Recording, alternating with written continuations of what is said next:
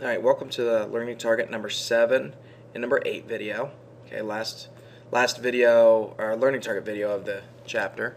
Okay, uh, remember, your formative is on Thursday, so chapter 8 formative on Thursday. Okay, so make sure you're ready to go for that. Again, it'd be nice to really, if you guys tested out of that, that way you won't have to worry about taking the summative once you come back from spring break. So, uh, so what are these two learning targets? Learning target seven: decompose polygons, okay, into smaller figures to find the area. Okay. All right.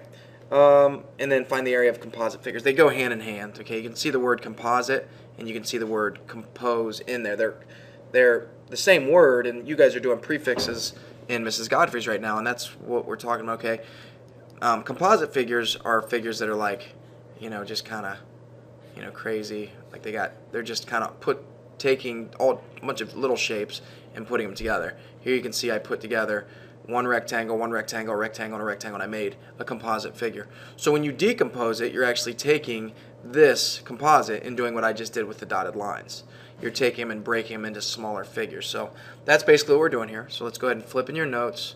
Uh, not sure what page. I'll have to look here. Um, actually, I'm not going to be able to tell because my numbers are all in some crazy, crazy language. I don't know. So I think this is it. Here we go. So, pretty easy here. Um, hopefully, if you didn't find it, pause it.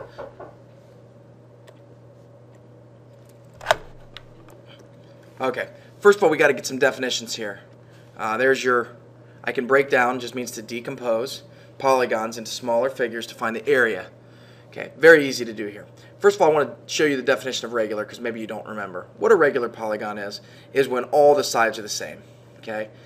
Now a polygon itself is just any any closed-in figure with three or more sides. So that's why polygons are triangles are a type of polygon, parallelograms are a type, quadrilaterals are a type, uh, you know, decagons, hectagons, or um, octagons, all those. Okay, there, there's a ton of them. Pentagon. Okay, this right here is a regular pentagon. You can see it's got five sides, which is what a pentagon is, and it's regular, which means that all five of those sides are the exact same uh, length. Okay, and it gives you this, and we're going to basically be able to find the area of this pentagon, not by a formula. We're not going to learn some crazy formula. If you get a chance, go onto Google and just Google area formula for a pentagon. I'm sure there's a there's an equation or a formula out there. I just have no idea what it is, and uh, quite frankly, I don't care because I know that I can decompose this into other shapes, and that's exactly what we did here. They they put a dot here. That dot's called the center. Okay, please write that if I my pen would work. It's not been a good day for the pen. Okay, this is my center. Just means it's right in the very center from all those all those angles. And basically, what we've done is we have created a um, we've created five triangles. You can see that, guys. You just took it from the center and you connect it to one vert vertex. Okay, vertexes are just where the two sides meet each other. There's a vertex, there's a vertex, vertex, vertex, and then a vertex. And you can see we've created one triangle, two triangles, three triangles, four triangles, and five triangles. Again, here, guys, the I want to make sure you're understanding this. This is not, right here, this one is not two triangles. That dotted line is just showing a height. That's not an actual side of it. It's not breaking it into two different triangles. Okay, up here it says Patrick drew a rectangular pentagon with side lengths of 16 centimeters. He divided the pentagon into five identical triangles. So all five have the exact same area because they're identical because it's a regular polygon, regular pentagon, and measured the height. He shows the height here at 11 centimeters. Now, the reason that he had to go out here and measure the height is because he actually had to go and figure out the right angle and he had to connect it to this base. He called this the base. Okay? And then the height then would be from here to the very center. Okay? So how do we do this? Well, let's go down and look. He's going to find the area of the triangle. There's our formula that you guys should be very, very good at by now. He's going to find the area of that triangle. Okay? The one triangle. Let me do it in a different color so we can see. Maybe if I zoom out, that'll help. There we go. Hopefully you can still see it. I'm going to find the area of that triangle where all the dimensions are. So right here, right here, and right here. And you can kind of think of it as its own triangle. You know what I mean? I mean, if you wanted to take it and redraw it with the new dimensions, but basically it's a triangle that looks like this.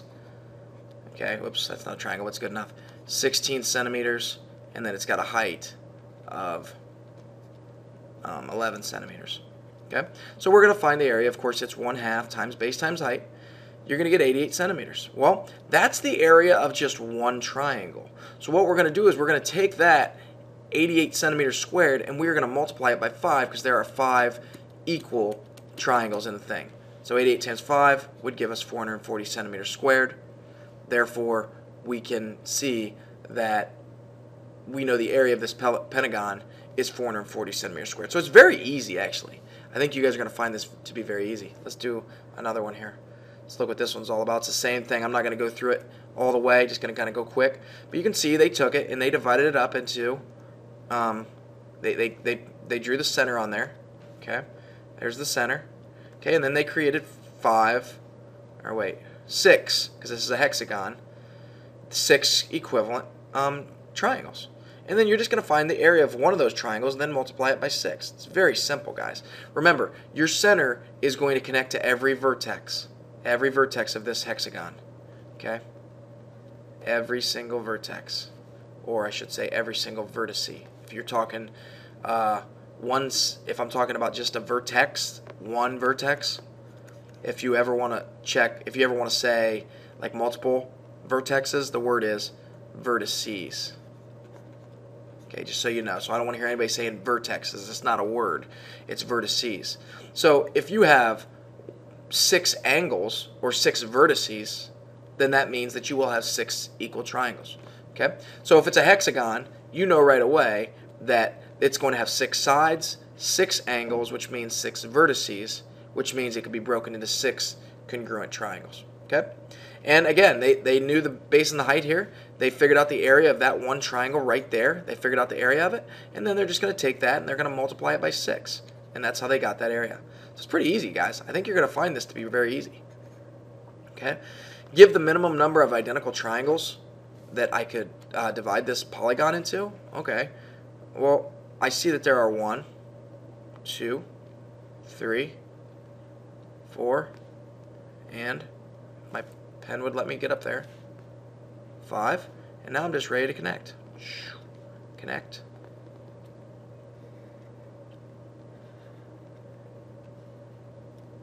And there's your five. So the question is how many equivalent triangles? Five equivalent triangles. Okay. And I knew that because this has five sides, five vertices, therefore it has five congruent triangles. So how would I find the area of this? Well, I would have to know this distance right here, the height, and then I would have to know the base. And then I would do 1 half times base times height, and then I'd multiply it by 5, because that would give me the area of the whole thing. This one, um, same deal. Here's your vertices. 1, 2, 4, 5, and 6. So I know it's got 6 sides, so therefore I know that it's going to have 6 equivalent oh, triangles.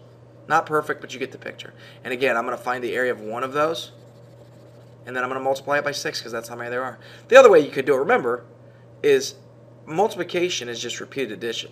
So realistically, if you knew the area of that triangle right there was 10 meters squared, you could do 10, you could do it this way and do, hold up, you could get 10 by 10 by 10 by 10 by 10 by 10, and then you could just add them all up. But again, you guys all are good at knowing that showing uh, repeated addition is easier with multiplication. Okay, so this would have six equal triangles. Okay, go to the next page. Okay. Um, you can practice this one real quick. Do it together. Just write it with me. Okay, it's already broken down for you. So we're just going to go ahead and find the area of this triangle right here. Okay. Now, this one's a, it's the same thing, but I just want to make sure you guys are, are aware. Some of you might say, well, wait a minute, I don't know the length of this from here to here. Well, yeah, you do because of one word. Hopefully you know that word by now. It is that word right there. A regular polygon of any kind means all sides are the same. Let's write that. Regular means all sides equal length. Okay? all the sides are equal length. That, that's that's what a, a regular whatever, whether it's a regular um, hexagon, octagon, decagon, doesn't matter. Okay. Um, so we know that all these sides are 28, right? 28, 28, 28. We know that this is 28 also, 28 centimeters. Okay, and it gives us the height right here. Even though it's not there, you can see that's the same distance from right there to, to the, where the arrow is up top as it is right there to right there. Okay, it's the same distance. They just have it written over there. Okay, so you need to find the area of that. So we're going to write the formula because we always write the formula. Now we're going to plug in what we know. We know that it's 1 half times 28 times 24.2 and that's going to give us an area. Let me get out my calculator because I don't know that off the top of my head. Okay, again, I'm going to use 0.5 as 1 half because they're the same thing. 0.5 times 28 times 24.2. And there we go. 338. Um, 0.8, I think that was. Yep. 0.8. And that's going to be centimeters squared because we are doing area. Okay. But remember, this is where a lot of you, I think, I hope this doesn't happen, but I think we're going to see a lot of mistakes, is this right here, what I just found is the area of one triangle. This is just one triangle equals that. Okay? Just one of them equals that. So we need to take that area, 338.8, and we need to multiply it by however many triangles this, this hexagon makes, which we know it makes one, two, three, four, five, six. So we need to multiply it by 6, and we would get pull up my, okay, 338.6 times, or 338.8 times 6 is going to give us 2,000, whoops, 2,032 and 8 tenths. And remember, centimeter squared. So when this is on the test, guys, I would expect to see a couple of different things. I would need to see this step right here, right there. I would need to see an answer here. I would need to see units here, and then I would have to see this. Now that doesn't mean you have to show me the math, like you don't have to come up here and go get 3, 3, 8.8 times 6. You don't have to show me that step. You can do that in your calculator. But I do need to see this. Then I would need to see this and this. So everything circled in black there I would have to see. Okay? And this works for any shape. I mean, trapezoids, you guys learned that formula. That formula is area equals 1 half the height times the sum of the bases. Okay, you learned that great formula, and that's great. I bet you if you went home, and if you're at home right now, you can ask your parents, Ask your parents how many people know this area formula. There probably isn't very many of them because we don't use it very often. So realistically, this formula is great if you know it, but if you learn this decomposing skill, what we're doing up here, decomposing it into smaller figures, rectangles and triangles, you're going to be a lot better off. So you can see, here's my trapezoid, and I know it's trapezoid because the one classification to a trapezoid that makes it a trapezoid is the fact that it has one set of parallel sides. So I know this would be right here, my base 1. This here would be my base 2. Okay, and then my height would be right here because that's a right angle. Okay, so I know that. But look what I can do. If I didn't know this formula, I could still find the area of this. I'm going to take this and I'm going to come straight down like I did here. Okay, and you, you guys are going to see this real quick. What shape did I just create right there? I create a rectangle. I create a rectangle, so that would be base times height, and then I create a triangle. 1 half base times height. Okay, That's exactly what we just created. So now I can find the area of this one, the area of this one, and then add them together, which is basically what we're doing. Okay, And then it even goes a step further. You could take it and take your rectangle then and divide it in half too. And then you got three triangles, one triangle, two triangles, and a third triangle. But you don't have to do that. I think this one is perfectly fine right here. Okay, let's go to next page. Okay divide the hexagon into two identical triangles and a rectangle. Okay. So let's, if my pen will let me do this, we will do it. Okay, so I'm going to take it and I'm going to divide it here, right? Create that triangle, create that triangle, and I know these are right angles. So now I'm, I know that I've created two triangles there, and I've created a uh, rectangle in the middle. Now it wants us to divide the hexagon in another way. I don't want to do that. I'm not even going to worry about that question. I just want you guys to know that if I were then going to find the area of this hexagon, I'm going to then break it up and I'm going to find the height. Now, it's really, really hard to see on mine.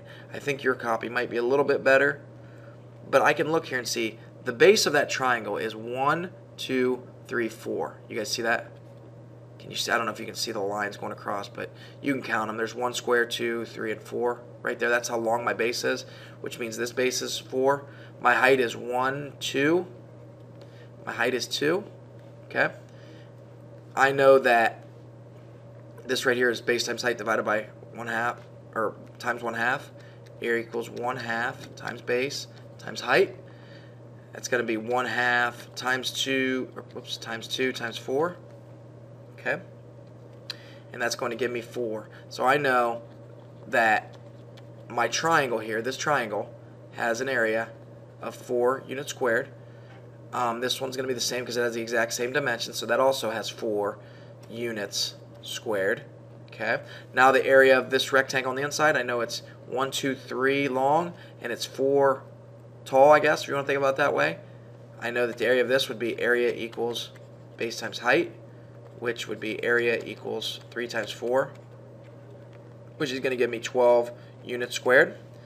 Okay, now I'm ready to take this part, this part, and this part, and add them up. And that's going to give me the area of the whole hexagon. So yeah, there's a formula out there that will find the area of this of this hexagon. It is. Absolutely. There's a formula. But why take why learn another formula when you can just simply decompose it into the triangle and the and the rectangle formula? So you got to know those two formulas, triangle and parallelogram. Okay. Here, you can see we took it. What's this one giving me? Okay.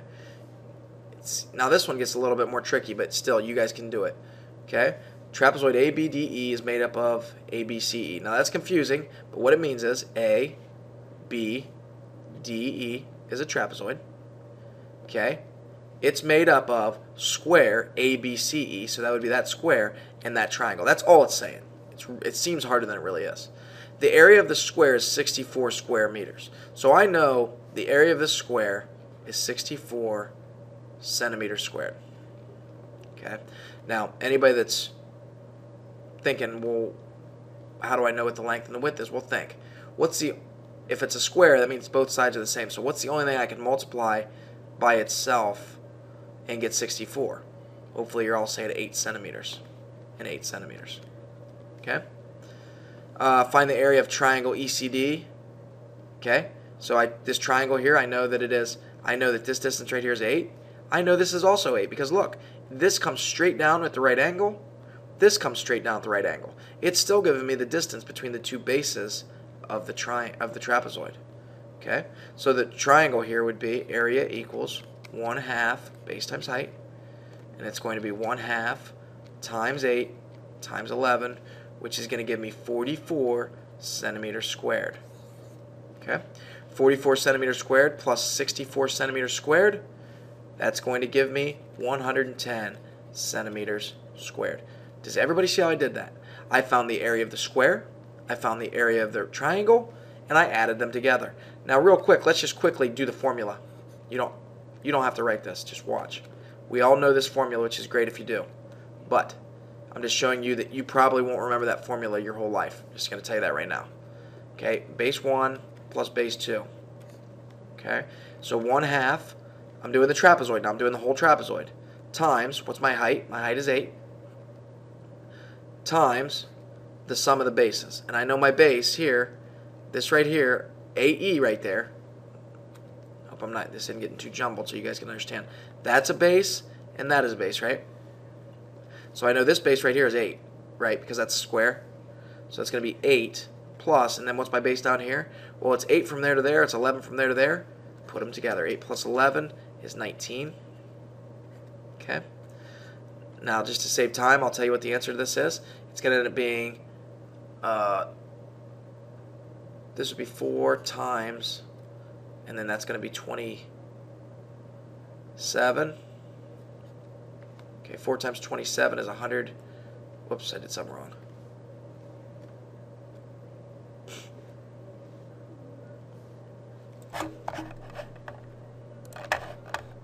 Whoops. Okay, sorry about that. Uh, obviously, this is 108 here, which is different than my answer. You guys are probably all screaming at the screen for the past three minutes here. because uh, I added this wrong. My bad. Sorry. This when you add 64 and 44, you actually get 108. That was my mistake. Sorry. Um, but anyway, you get the same answer. That's the whole point. So you can decompose it into smaller shapes, or you can use the formula. Now, if I ask for this, you got to do this. But it's pretty basic, pretty pretty easy to understand. Okay. Um, let me come back to that. I would like everybody right here, this one here. I want you to finish this one for like homework, I guess. I want you to come in with this one ready to roll tomorrow. Okay, and then we're going to talk about it first thing. Okay, so I want everybody to have this one done. So remind me to do this one in class when you guys come in. Okay. Um, let me see here. These are just having you divide them up into smaller, um, into two triangles. I mean, this is easy stuff, guys. I mean, you could take it just cut it in half like that. This one, you can cut into two triangles just like we just practiced, like that. Okay.